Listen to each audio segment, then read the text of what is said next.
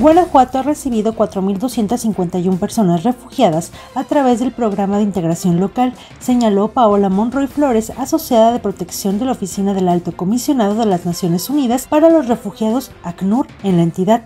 ¿no? Y la crisis en realidad no es la que está abajo del puente ni es la que está adentro de los trenes, ¿no? Son crisis que están desde los países de origen eh, por el tema justamente de acceso a los derechos. Lo que nosotros vemos es un reflejo del, del, incremento y de repente como de la falta de acciones como para mejorar las situaciones de las personas en sus países de origen. Las personas refugiadas salen de sus países porque su vida o la de sus familiares estaba en peligro, un contexto de violencia, pandillas, a lo que sumó otras causas como la falta de medicamentos y de alimentación y el cambio climático.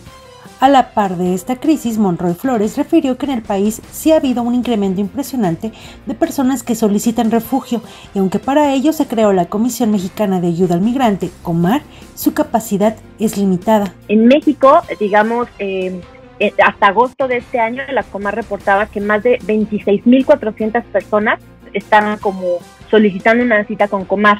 O sea, la, capacidad de Comar, por ejemplo, de, atención, nos comentaba en algún momento el eh, Andrés, eh, que es el director de Comar, que ellos atendían un promedio antes, en el 2017, un promedio de 800 solicitudes al año. Ahorita están atendiendo 1.400 solicitudes diarias. Mediante el programa de integración local en Guanajuato, ha habido disposición para trabajar de la mano con la Secretaría del Migrante y de Enlace Internacional. Trabajamos muy de la mano con la Secretaría del Migrante y Enlace Internacional, que ha dado este giro y este enfoque para poder eh, entender el tema de las personas refugiadas, pero además para generar estrategias interinstitucionales que permitan justamente la integración de las personas refugiadas, ¿no? Son personas que no, como te, o sea, lo que necesitan es una oportunidad, ¿no?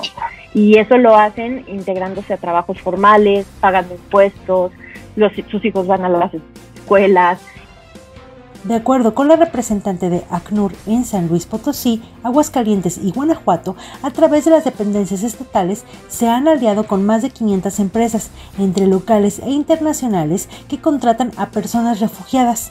Concretamente, en la entidad, la industria del calzado ha resultado atractiva como un primer trabajo de inicio, pero también se han sumado empresas grandes del ramo automotriz.